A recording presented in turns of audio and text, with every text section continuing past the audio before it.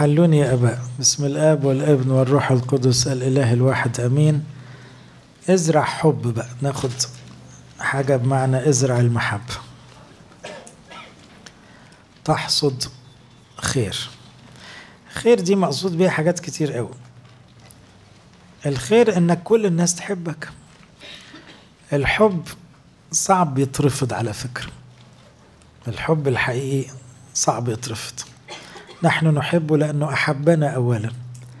كمان الحب هو أقوى مؤثر في تغيير الناس. عاوز تغير الناس حبهم. لو حبيتهم هيتغيروا. فاكر لما كنت مشغول زمان بخدمة الأطفال المعوقين؟ وقع في إيدي كتاب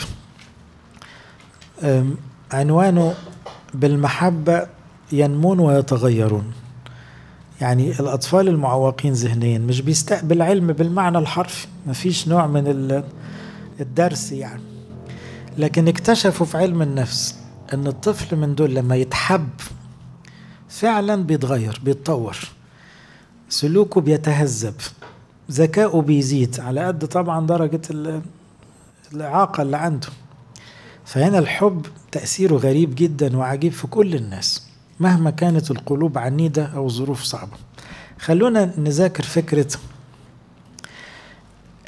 إزرع حب. الحب في المسيحية أحبائي شقين كبار. حياتنا كلها مركزة في الوصية دي. حب ربنا وحب قريبك. والمفروض إن مفيش يوم يعدي علينا ننسى واحدة من الاتنين دول. لأن هما دول اللي هيدخلوا السماء. ما هي أعظم الوصايا؟ تحب الرب إلهك وتحب قريبك كنفسك؟ افعل هذا فتحيا إجابة صريحة. عاوز تروح السماء؟ عاوز حياة أبدية؟ حب ربنا؟ حب الناس. بس. مش مهم بقى عارف إيه وفاهم إيه وقاري إيه وثقافتك إيه وشكلك إيه. كل ده مش مهم. حب ربنا. حب الناس تدخل السماء. عاوز أكلمكم في ست أنواع من البشر بست طرق للحب. إحنا ياما اتكلمنا عن محبة الناس. وانتوا خدام بتحبوا الناس. لكن في كده باراجراف للقديس بولس لما نحلله نقدر نقول إن في ست أنواع من البشر بست طرق للحب. لأنه ببساطة خلينا بسط يعني واحد شرير بيشتغل معك شرير مؤذي. طب ده يتحب إزاي؟ لازم له طريقة. واحد غلبان بس كسلان ده له طريقة تانية في الحب فاهمين؟ إذا ما تقدرش تقول أنا أحب الشرير بنفس طريقة حبي للكسلان لا مش ده يعني هنا الحب غير هنا مش العاطفي العملي. بصوا على النص ده لأن هو ده اللي موضوعنا دلوقتي. نسألكم أيها الإخوة أن تعرفوا الذين يتعبون بينكم ويدبرونكم في الرب وينذرونكم وأن تعتبروهم كثيرا جدا في المحبة من أجل عملهم. ده أول نوع هنسميه. اللي هم إيه؟ اللي لهم فضل علينا. هندرسها لسه. أبائنا الجسديين وأبائنا الروحيين وكل الناس اللي تعبوا معانا. وده كتير. فئة كبيرة الجداء الجدود والقرايب وال... والإخوات الأكبر والخدام. سالموا بعضكم بعض. نطلب إليكم أيها الإخوة أنذروا الذين بلا ترتيب. دول فئة تانية. ده نوع تاني. اللي ما لهمش ترتيب دول. هنشوف دول مين. شجعوا صغار النفوس ده نوع تالت. اسندوا الضعفاء دي فئة رابعة اسمهم الضعفاء. تأنوا على الجميع دي لمة الكل. انظروا ألا يجازي أحد أحد عن شر بشر دي فئة الأشرار. اللي هي آخر نوع من هندرسه. بل كل حين اتبعوا الخير بعضكم لبعض وللجميع. تعالوا نفهمها حتة حتة أو نصنفها. النص ده أكيد أنتوا قريتوه كتير وبعضكم حافظه لكن إحنا عاملينها لها تصنيفة كده كلاسيفيكيشن النوع الأول اللي أحيانا مش بنحبه كفاية أو بنأثر معاه الذين يتعبون بينكم ويدبرونكم. زي ما بقول لكم دول أبائنا أمهاتنا الكهنة اللي خدمونا الخدام اللي تعبوا معانا زوجتنا أو أزواجنا وهم برضو استحملونا وشالوا معانا. كل الناس الأوفياء اللي في الشغل ولا في الدراسة كانوا مخلصين بأي درجة. دول ينطبق عليهم تعبوا معاكم ودبروكم. ماشي؟ ده أول نوع من الحب. طيب طبعا يدخل معاهم المرشدين عموما أباء الاعتراف خصوصا كل دول اسمهم. تعرفوا الذين يتعبون بينكم ويدبرونكم وينذرونكم. هنا الإنذار كمان لما واحد يوبخك لغرض كويس مفروض تديله محبة مسؤولين أمناء خدمة. لأن أحيانا واحد يبقى بيخدم ويبقى مش عارف يحب أمين الخدمة بتاعه. طب حبيبي ما هو بصراحة الشدة بتاعته كانت مصلحة إنك أنت تلتزم بالميعاد كان بيحط فيك حتة كويسة برضه. هو مش لازم يكون كامل بس بتعب معاك افتقدك سألك شجعك وزع عليك شغل يستاهل منك المحبة طيب. دول يتحبوا إزاي بقى؟ إحنا دلوقتي قلنا النوع هنقول كل نوع والمطلوب إيه؟ النوع الأولاني ده المدبرين والمنذرين والآباء وغيرهم. بصوا حط كام فعل؟ حط ثلاث أربع أفعال الحقيقة. تعرفوا أو ثلاثة تعرفوا وتعتبروا وتسالموا. مش كده؟ verbs يعني أفعال. يعني إيه تعرفونهم؟ التقدير يا أحبائي.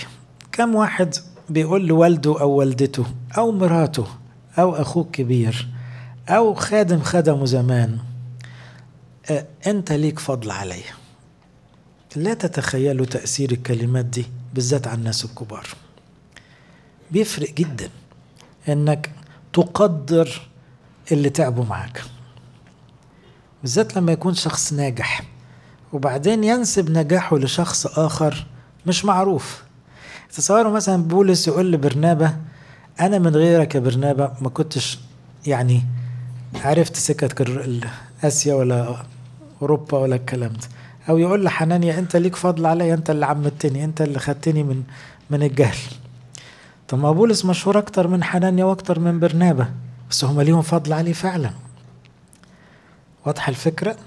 هنا التقدير يا أحبائي حب وده ناقص. وخلي بالكم أنا بقول ازرع حب تحصد خير ليه؟ لا تتصوروا نفسية الشخص اللي الناس مقدرينه بترتاح قد إيه. بالذات لما يكون كبير وشبعان خلاص مش مستني من الدنيا لا فلوس ولا نجاح. لكن بتفرق معاه قوي إن ولاده مقدرين اللي عمله. دي أكتر حاجة تسعده. فأنت بتاخد بركة وبتاخد خير لأنك بتسعد الشخص بالتقدير. التقدير ده ممكن يبقى كلام ممكن يبقى هدايا ممكن يبقى سؤال واهتمام مجرد السؤال والاهتمام. ده مهم جدا بالذات اللي تعبوا معاك. التعبير التاني يقول تعتبروهم بصوا نادرا ما بولس يقول جدا على فكرة. المرة دي قالها جدا. تعتبروهم كثيرا جدا في المحبة. ما أظنش حد فينا بيعمل الجدا دي. أنا شفت في زماننا ده ناس بهوات كبار قوي بيوطي يبوس ايد والدته علنا قدام الناس. وناس يعني كبار. تعتبرهم كثيرا جدا في المحبة. تبقى بتحبه بجد ومعتبره عامل له اعتبار كبير قوي. اعتبار. دي حاجة حلوة. لأنه ده خلاص الشخص ده مش مستني أكتر من كده. احترام شديد. كمان تلمذة يعني إيه كلمته كلمته فوق رأسك طبعا. مهما كبرت لأنه ده له فضل عليك ده أب ده أم ده حد. سالموهم. سالموهم يعني إيه؟ هدي مناسبة قوي لخدمة المسنين. أحيانا والدك أو والدتك يبقوا مسنين. المسن كلكم فاهمين في مرحلة معينة ممكن يرجع طفل. تركيزه قليل طلباته كتير لمؤاخذة زنه زيادة بيتدلع شوية. مرهق في خدمته أحيانا بيبقى كده بسبب الأمراض بسبب النفسية. بس ما تنساش هو اللي عملك يعني. أنت اللي كنت طفل. الراجل ده له خدمة طويلة له باع كبير تعب كتير. مش معنى إنه دلوقتي في مرحلة. يعني في ضعف معين إنك تزعق فيه. تشخط فيه إنك مش مستحمله. لا سالموهم. تفادى المشاكل مع الكبار. قد تختلف مع والدك في لحظة وإنت كبير ما إنتش صغير بس لازم تفضل في سلام معاه مهما كان. ممكن تختلف مع شخص مهم بالنسبة لك ولكن وله فضل عليك في يوم من الأيام. مش لازم بالظبط ترضيه بس على الأقل تحتفظ بالسلام. احتمال الضعفات وتفادي المشاكل. أول نوع إيه؟ اللي خدمونا بأي شكل اللي دبرونا اللي أنظرونا. دول ناس موجودين في حياتنا كلنا وهنا قال عليهم اعرفوهم اعتبروهم سالمون. النوع الثاني إحنا بنقول إيه؟ بنصنف أنواع البشر اللي بنتعامل معاهم تحت عنوان واحد حبوهم. ولما تحبهم أزرع حب لكل الفئات هتعيش أحلى عيشه هتبقى عايش في خير دائم. النوع الثاني في العلاقات الإنسانية الذين بلا ترتيب. بلا ترتيب دي حط المصريين كلها تقريبا. بلا تر... في ناس مش منظمة. طبعا هو هنا يقصد الترتيب الروحي يعني الناس الغير روحانية الغير متدينين عموما. يعني مسيحي بس ما بيروحش قداس ما بيصليش أجبية ما حياته مش مترتبة يعني مش منظمة. غير بلا ترتيب اللي هي فعلا النظام بالحرف يعني. ممكن يبقوا مستهترين ممكن يبقوا ناس سطحيين يبقوا غير روحيين. اللي بلا ترتيب ده تلاقيه مش عاوز يتعب مش عاوز يشتغل زي أغلب المصريين زي شباب اليومين دول اللي هو عاوز يكسب من غير ما يتعب. طبعا ممكن تحط المدمنين ممكن يعني بلا ترتيب ده يتحط تحتيها فئات كتيرة قوي. ما عندوش نظام في حياته ما عندوش رول حتى هنا التعبير unruly يعني no rules. ما فيش قوانين بتحكمه فيش مبادئ بتحكمه طيب تعمل معهم إيه؟ بصوا الكلمة اللي استخدمها هنا إيه نوع المحبة اللي تعمله مع ناس unruly بدون قواعد في حياتهم خالص؟ استخدم كلمة انذروهم انذروهم دي بتتفهم غلط دي أكتر كلمة بتتفهم غلط لأن انذروهم بتترجم عند ناس كتير زعق فيه. لا لا هي ملهاش علاقة بزعق خالص. انذروهم معناه نبهوا وعيه فهموا خطورة اللي هو فيه. اقنعوا بالمأساة اللي ممكن يدخل عليها لو فضل كده فأنذروا الذين بلا ترتيب انذار دول حب. انت لو قعدت مع شاب مستهتر مش مهتم بمذاكرته وعايش حياته ملخبطة خدت ساعة ساعتين بتحاول تقنعه بالخطورة ده اسمه انذروا الذين بلا ده حب منك المناهدة دي اللي تعبت أعصابك. الحقيقة ده حب لأنه يمكن يكون القعدة دي فرقت شوية. يجوز ما يتبدلش 180 درجة. بس أهو في كلمة دخلت. يبقى من الحب أن تنذر من تحب. ما ينفعش أكون شايف ابني أو أخويا أو خادم عندي بيعمل حاجة غلط. كاسر قواعد ممكن يهلك وافضل اتفرج واقول لحسن يزعل. ما يزعل ولا يتفلق المهم ما يهلكش. إذا كنت بتحبه ما تسكتش. اتكلم بس تشوف تتكلم إزاي. هنا تحت كلمة انذروهم تقدر تحط الإرشاد تقدر تحط التوضيح. توضيح الموقف الطريقة دي.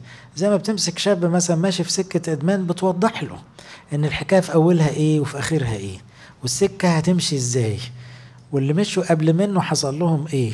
والتراجع ممكن يتراجع إزاي؟ كل ده أنذروهم. أنذروهم بمحبة. بمعنى إيه؟ ما إحنا كل ده إحنا اتفقنا دي صور للمحبة بس الأنواع مختلفة من البشر. قديس بولس استخدم مرة كلمة الإنذار وحط جنبها كلمة غريبة جدا حط كلمة الدموع.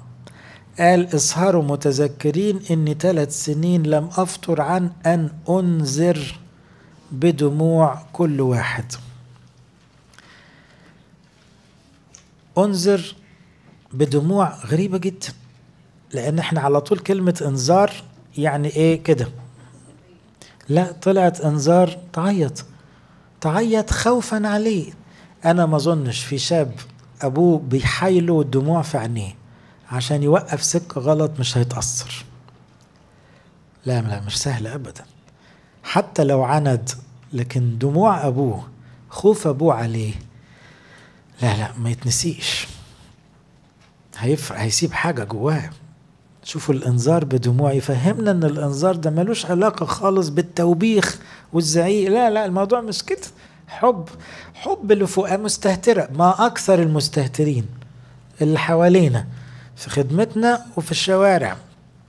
لكن لو عرفت تنذر بحكمة بحب بدموع هتكسب ناس كتير. لأن ده واجبك تجاههم. افرض شاب بيسوق بسرعة بتترجاه يا حبيبي خطر يا ابني خطر. اعمل معروف بلاش الميتين دي. خطر العربية لو اتقلبت هتروح فيها. أو تتشل تعيش بقية عمرك ندمان على اللحظة دي. اللي أنا بعمله ده إيه؟ اسمه إنذار. بعمله ليه؟ لأني خايف عليه. يبقى أنذروا الذين بلا ترتيب. ده اللي انت هتعمله حتى لما تدخل العشوائيات. ولقيت إهمال لقيت قلة نظافة قلة ربنا قلة أي حاجة. بتنذر وبتبقى منفعل وانت بتنذر. انت مالكش مصلحة. دي مسؤولية على الشخص اللي بتنذره. أرجوك لا تتركهم لأخطائهم. لأن ربنا يسوع قال لحزقيال لو لقيت واحد بيغلط ولم تنذره هطلب دمه منك. لأنه كان لازم تحذره. لكن لو أنظرته وما ارتدعش خلاص دمه على رأسه. إحنا في ناس كتير شعارهم في الحياة حتى في الخدمة وأنا مالي. أنا مالي هيزعل مني. هيقول لك ده عامل فيها مش عارف إيه. يا حبيبي يقول ولا ما يقولش؟ أنت مش خايف عليه؟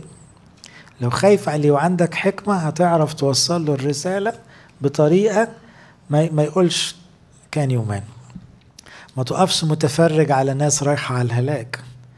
توقع كمان رد الفعل. طب وماله لما واحد يقول لك مالكش دعوة؟ أوكي ما حصلش حاجة. تتضايقش. أو يقول لك أنا عارف أنا بعمل إيه. ماشي. دي الردود المستهترين. بس على الأقل يمكن الكلمة اللي قلتها يقعد تأثير ساعات ابنك يرد عليك رد بايخ لأنه مش مستحمل إنك تشاور له على غلط. بس أؤكد لكم أكتر من خمسين في المية بعد ما بتمشوا من وشهم الكلمة اللي قلتها بتوجعه وبيرجع يفكر فيها. ولادنا طيبين لكن لو ما قلتهاش خالص راح التأثير المفيد ده كان لازم تقول.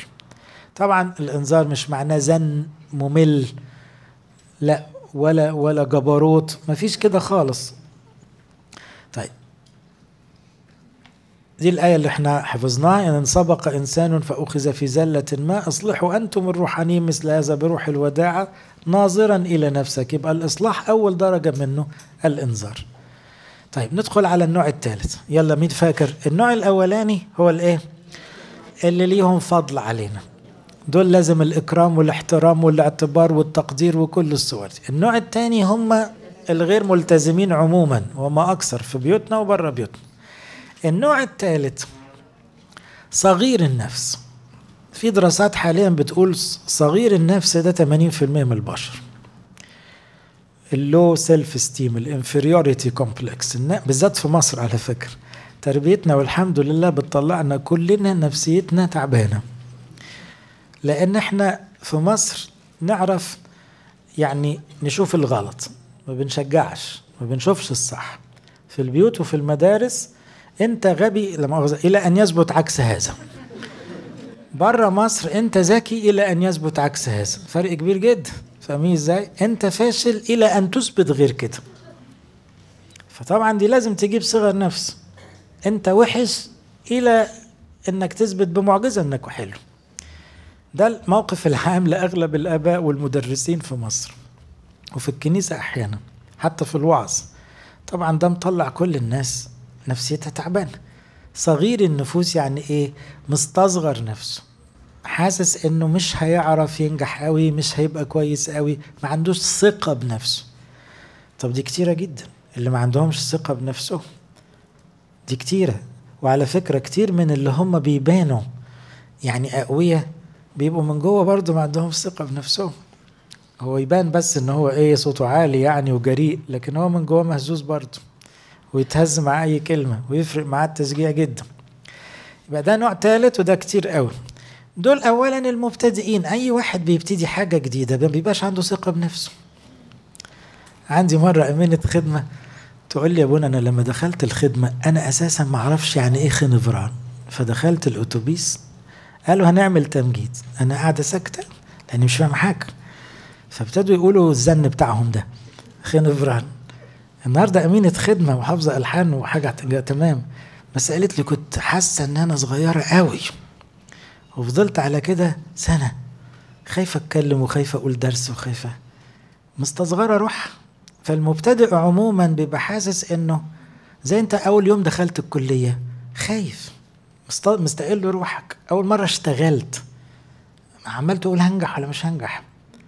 لما دخلت حضانة ولا ابتدائي كل مرحلة كان في دايما إحساس الصغر القله طبعا حتى الصغيرين سنا عموما عندهم صغر نفس. الفقراء كلهم تقريبا عندهم صغر نفس. ليه؟ لأنه دايما حاطط مقارنة أنا فين من البهوات؟ أنا ما بفهمش زيهم. دول بيفهموا عني وممكن يكون بيفهم أكتر من البهوات. كحكمة يعني. لكن هو عنده صغر نفس. المرضى بيبقى عندهم صغر نفس. ليه؟ لأنه دايما حاسس إنه لما كنت بمشي لما كنت بتحرك لما كانت صحتي فيا أو الناس اللي عندها صحة فدايما حاسس إنه أقل. المذلولين عموما أو المهملين الفئات المهمشة كل بقى الأشغال اللي هي إيه؟ بسيطة في المجتمع. كل دول عندهم صغر نفس. طب ده إحنا محاطين بناس عندها صغر نفس. لو فكرت كده كل الفئات تقريبا عندها صغر نفس. ما عدا فئة صغيرة قوي اللي هم إيه المسؤولين بقى الكبار والناس اللي واثقة من روحها دي ودي يعني ما يجوش 5% يبقى أنا عندي مجال أهو أحب أهو في الناس دي كلها أو المجموعة أنا بحفظكم. اللي خدموني اللي لهم فضل عليا دول عاوزين اعتبار وتقدير. الغير ملتزمين دول عاوزين إنذار.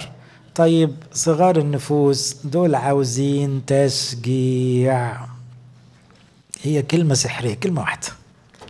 الحب هنا اسمه إيه؟ شجع شجع شجع شجع شجع بكل الصور. أغلب شخصيات الكتاب المقدس تقدر تكتشف إن عندها صغر نفس. أغلبها ما كانش كلها.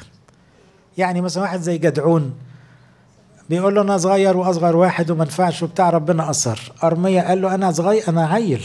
قال له لا تقل أني ولد. موسى قال له شوف أي حد غيري. أنا بالذات ما ينفعش بطرس يقول له اطلع من حياتي أنا راجل خاطي. بولس يقول أنا كنت مجدف ومضطهد ومفتري. ولا واحد من دول شايف نفسه ينفع في حاجة. وربنا شجعهم. شجعهم لغاية ما عمل منهم حاجة. طب ما هو ده الدور علينا بقى. نشجع صغار النفوس. تشجيع بيبقى كلام إيجابي. بالصدق قلتي كلمة بتاعت السامرية.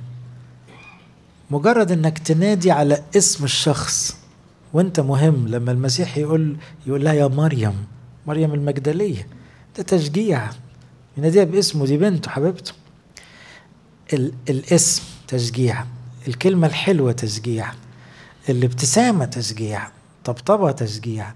انك تدي مسؤولية لشخص تشجيع انك تشركه في حياتك تشجيع. الصور كتيرة جدا.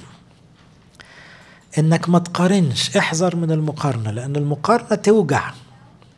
لكن ممكن تقولها بشكل عمومي كده. إن أنا واثق فيك أنا فخور بيك أنا فرحان بيك. أنا متأكد إنك تقدر. اللغات دي بتخلي اللي قدامك عاوز يعمل أحسن ما عنده. شجعوا صغار النفوس. أزرع حب. تحصد خير. تحصد خير يعني إيه؟ لو شجعت عيالك يطلعوا أحسن عيال. لو شجعت المخدومين المخدومين يتغيروا ويبقوا خدام. لو شجعت اللي معاك في البيت تلاقي مستوى العلاقة اتحسن كتير جدا. بين كل الأطراف أب وأم وعيال. مجرد التشجيع لأن كله عنده صغر نفس. نشكر الله. آه إنك تبقى دايما باصص بأمل إن الشخص ده هيطلع منه حاجة حلوة. يلا نقول الأنواع الثلاثه معلش تكرار يعلم الشطار. النوع الأولاني إيه؟ اللي تعبوا معاكم اعتبروهم كبروهم قدروهم. ها النوع الثاني بلا ترتيب انذروهم. النوع الثالث صغار النفوس شجعوا النوع الرابع النوع الرابع سماها كلمة واحدة الضعفاء.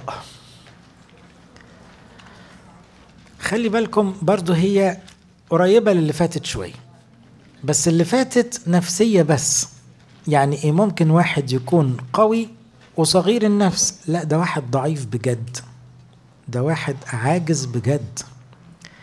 ده واحد متأخر عن الركب. فهو مش مجرد شعور. لا دي حقيقة. إنه أضعف من اللي حواليه. ده العاجز ده المعوق ده المسن ده اللي عنده متاعب نفسية ده كل ده نوع من الضعف. والحقيقة كلنا برضه فينا حد ما عندوش ضعف. الضعف حتى الروحي انت ممكن تبقى خادم زي الفل لكن عندك نقطة ضعف تخجل منها. انك مثلا بتعرفش تصحى بدري ما بتعرفش تسهر ما بتتلجلج في القراية بتقع في مناظر رديئة. وانت خادم وبتحب ربنا وبتخدم بقالك سنين حاجة تكسف. طب دي نقطة ضعف. ضعيف وليكن. أوكي. برضو تتحب يعني ما حصلش حاجة. هنا قال إيه مع الضعفاء؟ قال اسندوا اسندوا الضعفاء. ممكن واحد يبقى ضعيف الإرادة. تصور لما يبقى إنسان فاضل بطبعه لكن قدام السيجارة ضعيف. ما, ما تستقلش بيه. أوكي. ما هو أنت عندك ضعف من نوع تاني. برضو أرجع وأقول كل الصغيرين عموما عندهم درجة من درجات الضعف. طب دول يتحبوا إزاي؟ يتحبوا بكلمة اسمها المساندة. هقول كم بقى آية تاني مرتبطة بالحتة دي. يقول يجب علينا نحن الأقوياء روحيا أن نحتمل أضعاف الضعفاء ولا نرضي أنفسنا. يعني هشبهها تشبيه بسيط يا جماعة. معاك حد مش عارف يمد خطوته بطيئة. لو فضلت تقول له ما تمد شوية إيه اللي بيحصل؟ هيتنرفز هيصعب عليه نفسه هيتكعبل. إنما ده يتعمل معاه إيه؟ اسند عليا حبيبي وتمشي بخطوته. اسند هي دي المساندة. هو مش عارف هو بيعرج. طب وخلاص بيعرج هنعمل إيه؟ مش هك مش كفاية الكلام. حط إيدك بقى يتك عليك شوية فيعرف يمشي. هي دي المساندة ببساطة. خلاص ده وضع هو مش قادر يصلحه. مش عارف يعمل معاه حاجة. الموضوع مش وهم نفسي يعني لا هو مش قادر فعلا. طب خلاص نسنده فالخدمات المساندة دي ده حب حقيقي والناس محتاجاه جدا. أو في نفس الإصحاح يقول أو في قبلها من هو ضعيف في الإيمان اقبلوه لا لمحاكمة الأفكار. يعني في واحد إيمانه ضعيف ما تقعدش تقول له أنت صح وغلط خلاص على قد إيمانه. سيبه بساطة إيمانه وخلاص. اسند إيمانه لكن ما تقعدش توجعه. هنا المساندة معناه أن أنا قابل الشخص بضعفه زي ما المسيح بيعمل معايا. أنا قابل الشخص بنقطة ضعف. لأنه أغلبنا في علاقاتنا الإنسانية بتبقى مش قابل الشخص غير لما يتغير. دي مشكلة بقى. أنت حاطط في دماغك أنا عاوزه يبقى حاجة تاني. طب هو مش عارف. فعلا.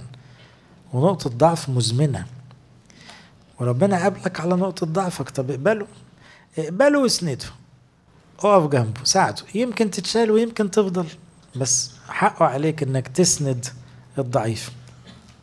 ربنا سند موسى. عارفين عمله إزاي؟ موسى عنده صغر نفس. فضل يحايله ويشجعه. تربس وقال له بس أنا فعلا ما بعرفش أتكلم. قال له طب هبعت هارون إيه؟ يتكلم بدالك. هي دي المساندة. لأن فعلا موسى كان بيتلجلج ما بيعرفش يقول جملة. تصوروا فبعد التشجيع اللي ربنا عمله قال له أوكي دي نقطة معاك فيها حق. مش أنت بتحب أخوك هارون؟ قول في ودانه هو مش هيقلق من لغتك هو يقول مطرحك. فبقى السنيد هارون كويس. مشيت الحكاية. بقى موسى العظيم ده كله عنده صغر نفس وعنده ضعف. خد تشجيع وخد مساندة لكن وصل إنه رئيس الأنبياء بالتشجيع والمساندة. اسندوا الضعفاء. ساعات المساندة كمان إنك تشارك الشخص في أي عمل بسيط. في البدايات كده بتمسك معاه بتمسك إيده في الأول. يعني مثلا واحد لسه بيشخبط بتمسك إيده عشان يبتدي يكتب.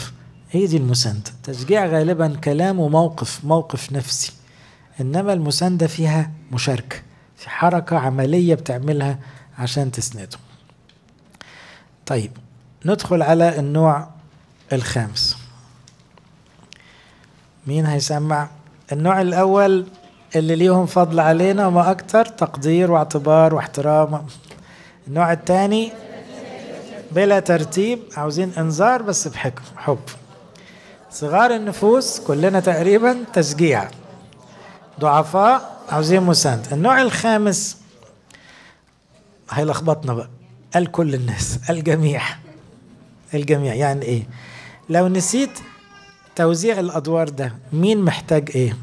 بص بقى كل الناس بدون استثناء محتاجين طولة بال المتكبر ما ينفعش معاه غير تطول بالك. واللي نفسيته تعبانة ما ينفعش غير تطول بالك. والعجوز المسن اللي مش عارف ياكل ولا يمشي ولا يتكلم ما ينفعش غير طولة البال. والطفل المشاغب العنيد ما ينفعش غير طولة البال. والراجل اللي مش راضي يسمع أي كلام روحي وفي العشوائيات وقاعد على باب العشة مش مدمن برضه عاوز طولة بال. كل الناس عاوزة طولة البال. كل الفئات اللي فاتت كلهم بدون استثناء ينطبق عليهم تأنوا على الجميع. عارفين الجميع دي تتضمن إيه؟ اللي ما بيتغيرش. ما إحنا قلنا الحب يغير. طب افرض ما تغيرش زي ست تيجي تقول لي بقالي عشرين سنة بصلي إن جوزي يتغير وبحاول معاه ما بيتغيرش. أقول لها إيه؟ تأني. ملهاش حل غير كده. طولي بالك. هنعمل إيه غير كده؟ ما بيتغيرش. هيتغير بنعمة ربنا. إمتى؟ ما أعرفش. اللي عندهم عيوب واضحة. تأنى عليهم. هو تعبان من العيب ما تكملش عليه استحمله. المستفز تأنى عليه. في شخص مستفز. الملحد عاوز طولة بال. اللي يدخل فيكم في أي حوار مع ناس مرتدين أو ملحدين فعلا يا ريته ياخد مهدئ. يعني مهدئ بالصلاة لأنه مستفزين متعبين جدا في مناقشتهم عاوزة طولة بال. لأنه أنت حاسس إنه بيقول كلام ما يدخلش الدماغ بس لازم تحترمه ولازم تسمعه ولازم تتناقش بموضوعية ولازم يعني تعيش معاه. فعلا عاوزة طول أنا المعارضين عموما المعاندين والمتكبرين كل الفئات دي الجميع تأنوا على الجميع. المطلوب إيه؟ ليكن حلمكم معروفا عند جميع الناس يبقى الصبر حب. الصبر حب. خلي بالكم الصبر على الناس. ده حب. زي ما ربنا بيعمل معانا صابر علينا لأنه بيحبنا. احتمال الناس حب المحبة تحتمل كل شيء. وبصبركم تقتنون أنفسكم. بصوا ربنا مع يونان النبي. طويل البال. ومع أهل نينوى طويل البال. بصوا ربنا مع ماري مرقس ما شالوش من السبعين رسول ولا شطب عليه لأنه هرب من أول رحلة. كمل معاه وطول باله لغاية ما ماري مرقس بقى حاجة كبيرة أوي يبقى تأنى على الكل. طول بالك. مشكلة في الزمن ده إن الناس كلها مستعجلة. لكن طولة البال دي نعمة دي حكمة. لأن ممكن جدا بشوية أنا كنت تكسب اللي قدامك ويتغير ويطلع أحسن ما فيه. طبعا أثناء هذا الوضع اللي فيه طول أنا أحيانا خدوا الكلام ده بحكمة شوية أحيانا تضطر تعمل مسافة. بمعنى إيه؟ ما ينفعش إنك تزن على شخص عمال على بطال. لا كلمته مرة استنى شوية وصلي شهر وبعدين كلمه تاني. شخص مؤذي ومستفز جدا لا مش لازم تبقى صديقه. مش مش مطلوب تبقى صديقه. ابعد شوية عشان أنت ما تنهارش أنت ما تتحطمش. لكن ما خلصتش الجولة أنت لسه بتشجع وبتسند وبتطول بالك. لأنه ممكن بكرة يتغير. فاهمين الفكرة؟ فمع الاحتمال والصبر الحكمة تقتضي أحيانا حاجة بنسميها المسافات. يعني إيه؟ مسافة كده. عشان ما تخبطش فيه خبطة توجعك وتوجعه. مع طول الأناء الصلاة أساسية جدا. ما, ما أجمل إنك تكون منتظر وبتصلي. مطول بالك وبتصلي. يا رب اديني صبر. يا رب غيره أنا مش عارف أغيره. ما تفقدش رجائك أخيرا نشكر الله. النوع السادس. النوع السادس ده أصعب نوع بقى. كل اللي فاتوا دول ناس يعني طبيعية ضعيفة صغيرة أنرولي مش ملتزمة. بس ما فيش شر شر. لا الفئة الستة دي بقى الأشرار. الإكستريم التاني بقى. ده شراني بقى. ده شراني. يعني غير كل اللي فاتوا دول. طب الشراني ده هنا يقول إيه؟ انظروا ألا يجازي أحد أحد عن شر بالشر احذر اولا إنك ترد الإساءة بالإساءة. إنك تبقى شرير زيه. اياك ودي أيوه هو شرير ولا شراني؟ ما ينفعش تبقى أنت شرير. اتبعوا الخير لبعضكم بعضكم لبعض وللجميع. دول بقى المؤذيين العنفاء. الكذابين الغشاشين المتعبين بشكل في إصرار. اللي بيكرهوا المسيح وبيكرهوا الكنيسة في ناس كده تكرهنا. كل الفئات دي مطالبين بحبهم برضو طب أحبهم إزاي؟ مش هيقبل مساندة كلمة تسنده ما تنفعش. ولا شجعه هتشجع إيه؟ ده شرير يعني. واخدين بالكم؟ ولا تعتبروهم جدا في المحبة ما هتعتبر إيه؟ ده جراني. اما إيه الدور هنا؟ الدور هنا ما تردش غير بالخير. اتعامل من موقف إنك خير. ما عندكش غير خير تديه. خير ده اسمه صلاة احترام تضحية إحسان تنازل. بس أنت راجل خير. لا تعرف تشتم ولا تعرف تأذي ولا تعرف تنتقم. ما عندكش ده. ده شر. فما تتعاملش بالشر. فهنا عمل الخير مهم قوي لما المسيح قال أحبوا أعدائكم فصلها وقال إيه؟ أحسنوا إلى مبغضيكم صلوا لأجل الذين يسيئون إليه. باركوا لعينيكم. التفصيلة دي ورتنا إن في موقف إيجابي من الأعداء. مش هنعاديهم لكن هنعمل الخير معاهم. بالصلاة بالكلمة الطيبة أو بالإحسان. أراجع بقى كل اللي اتقال ده وأضيف حتة صغيرة. بعد ما قال كل ده الحال اللي قاله ده صعب. يعني لو تفتكروا الفئة الأولى تعتبروهم جدا في المحبة اللي دبروكم دول. اثنين تنذروا الذين بلا ترتيب. ثلاثة شجعوا صغار النفوس. أربعة اسندوا الضعفاء. خمسة تأنوا على الجميع. ستة إياكم تجازوا حد شرير بشر. طب أعملها إزاي دي كلها؟ ده ده الوضع المثالي. تصور أنت هتقابل الست شخصيات كل يوم. تقريبا. هتقابل الناس الطيبين اللي تعبوا معاك وهتقابل الناس الصغيرة وهتقابل الناس الضعيفة وتقابل. كل الفئات. عشان توصل لدي حط حاجة ليك انت بقى. انك انت عشان تاخد طاقة روحية تقدر بيها تحب كل الفئات قال كم كلمة حلوة كده. قال افرحوا صلوا اشكروا على طول. عشان لما بتعمل دي يبقى عندك طاقة حب تعرف توزعها على الست أنواع. افرحوا صلوا اشكروا. دي بتاعتك انت دي مش بيكلمك عن شخص براك. بس لو عملت دول هتبقى قادر أن تحب كل شخص ايا كانت الفئة بتاعته. فهمتوا الفكرة؟ فبعد ما نقل عن العلاقات ساب العلاقات كلها اللي هي أساسها محبة ودخل عليك انت بقى. انت اللي هتحب. لازم يبقى شكلك إيه؟ لازم تبقى في حالة صلاه وفي حالة فرح لأن الحب ده طاقة. فهنا ببساطة كده طول ما أنت فرحان وبتصلي وبتشكر بتعمل اللي ربنا عاوزه تتميم المشيئة الإلهية. أنت مليان بالروح والروح القدس هيخليك تحب كل الفئات دي. تعرف تدي كل واحد احتياجه بجد. تسعد كل واحد حسب احتياجه. طبعا بعدها قال يعني حط حتة تعليم يعني غذي نفسك دايما. لا تحتقر النبوات قال كده. يعني دايما ركز إنك تستقبل. خد وعظ تاني خد تعليم تاني لأن ده هيشحنك إنك ترجع تحب الناس. امتحنوا كل شيء. لأنك ممكن تقول أنا معرفتش أحب الضعيف. ما سندتوش زهقت منه.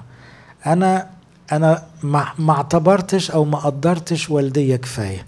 ترجع على طول تراقب نفسك. امتحن امتحن كل شيء وتمسكوا بالحسن.